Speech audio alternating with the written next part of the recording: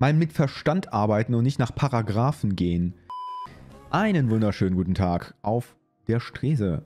Wir reagieren hier auf eine neue Folge Realer Irrsinn. Neu ist sie wahrscheinlich nicht, aber es geht um einen Streit um ein Tempolimit und eine Straßeneröffnung.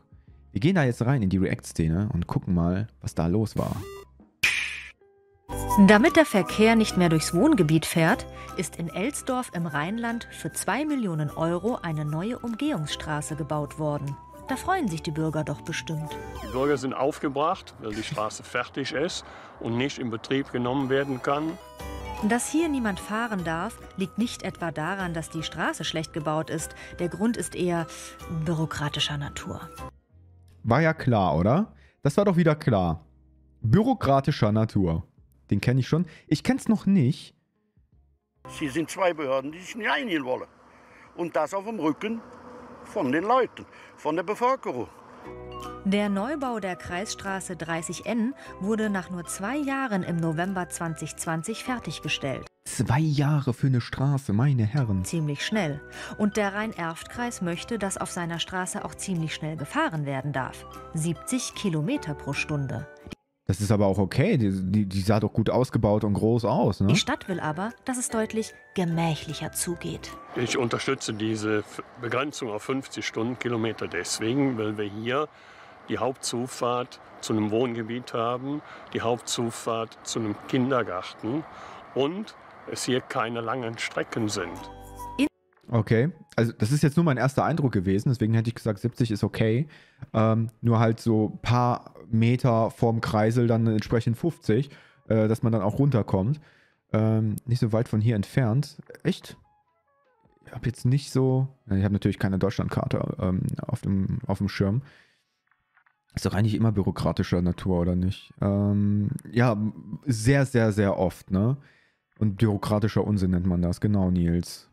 Nach nur zwei Jahren ziemlich schnell. Ja, also ich finde das überhaupt nicht schnell. Insgesamt ist die neue K30N nur rund 800 Meter lang.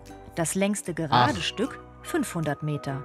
Und auf diesem Stück liegt in der Mitte dieser Kindergarten. I understand. Okay, dann hätte ich, also ich ging jetzt gerade wirklich davon aus, wir sprechen hier von einem Straßenstück von einigen Kilometern. Also so maximal fünf. Sowas in der Art. Äh, das ist jetzt was anderes. Da hätte ich jetzt auch 50 gesagt.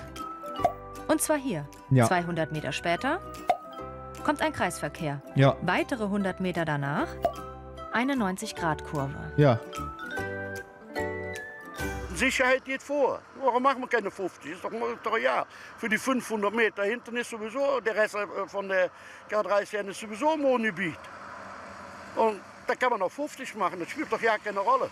Ja, ja, finde ich jetzt aber auch. Also für, den für das kleine Stück dann nochmal Gas geben, äh, die 20 km/h. Wie, wie viel bist du dann schneller da? Kann das bitte jemand ausrechnen? In 10 Sekunden? Doch, denn in der Straßenverkehrsordnung ist geregelt, dass Kreisstraßen mit bis zu 100 km/h beschildert werden können. Und da ist 70 doch schon ein Kompromiss, findet der Rhein-Erft-Kreis. Ja, aber- Aber doch nicht für die Wegstrecke von 100 Metern oder was sich das auf ist. die STVO. Alter! Diese ist darauf ausgerichtet, die Interessen unterschiedlicher Verkehrsteilnehmer gegeneinander abzuwägen und möglichst in Einklang zu bringen. Dieser Abwägungsprozess ist nicht immer einfach.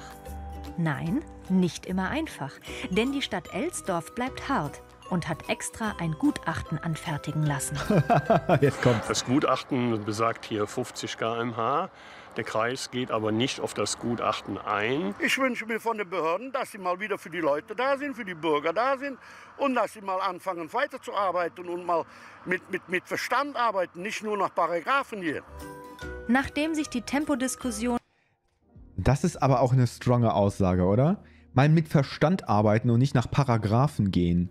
Da kannst du mal sehen, in was für einem Land wir leben. Es ist einfach nur noch realer Irrsinn, echt. Aber da stehen doch schon die Schilder mit 70, dann müssten wir die ja alle ersetzen.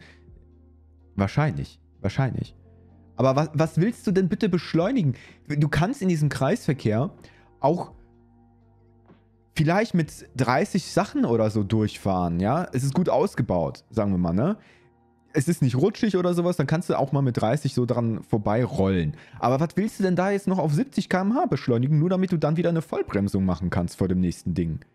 Ich, ich begreife es einfach nicht, Challenge Accepted. Crowdy, du fährst, gehst steigst jetzt nicht in dein Auto und fährst in so einen Kreisel rein mit 100 Sachen.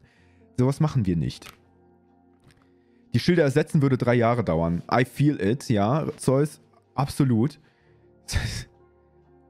Ein Schild kostet auch relativ viel, oder? Ja, auf jeden Fall. Da gab es ja noch nicht diese eine Geschichte mit dem, mit dem Typen, der die Schilder geputzt hat.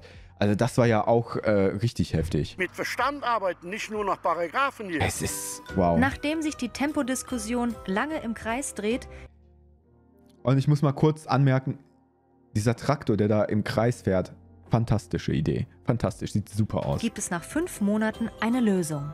Auf dem längeren Stück am Kindergarten vorbei gilt Tempo 70. Ja, clever. Und auf dem kurzen Stück mit der scharfen Kurve gilt Tempo 50.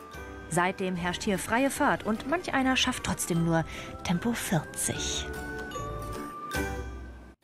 So, was jetzt? Richtig stark. Richtig stark. Ja, das war ähm, mein React, Kurz-React äh, zu realer Irrsinn. Streit um Tempolimit, verzögert Straßeneröffnung. Ihr könnt gerne mal auf Twitch vorbeischauen, wenn ihr mich live sehen möchtet. twitch.tv slash der Strese. Link in der Beschreibung. Ciao, bis zum nächsten Mal.